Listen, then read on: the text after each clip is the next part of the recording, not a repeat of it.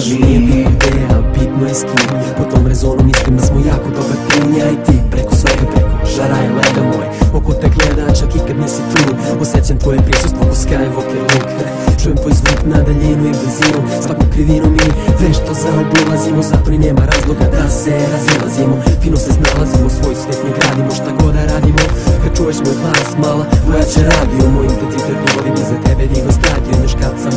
Onaj put na žurci, ostao bi kući Da sam znao da ću tako pući. Za tobom gotaš priču, svi piču Ne kontim da se naša veza ne bazira na kiču. Osjećanja miču i miču. A ja samo hoću i samo želim da si pored mene ti. Suze lijem noću, s nikim ne dijelim Suze koje Osjećanja miču sve ko reka teče Što više voliš to se jače okrećeš Ne znam se ko okreće pa kolo sreće. Kad se veče spusti Neću da verujem da snovi su pusti. Zbog njih i dalje pusi. Kad zagusti iz usti tebe reči Ljubav srca leči. Ne zaboravi to Samo prati flow svojim okom. Gledaj me duboko vidi Hodam sigurnim korakom sa tobom kad bi mogo Da izvršim prošlost da mi veruješ Jer ne znaš šta na redu je. Ja Sve bio odjednom a šta nam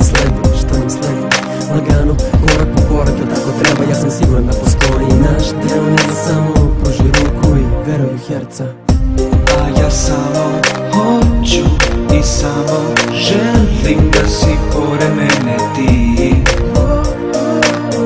Suze lijem noću, s nikim ne dijelim Suze koje date mi, suze koje date mi Imaš drugog, imam drugu, nije isto bez tebe. Moja baby, yeah. moja baby, moja baby moja baby, moja baby. A ja samo hoću i samo želim da si pored mene ti.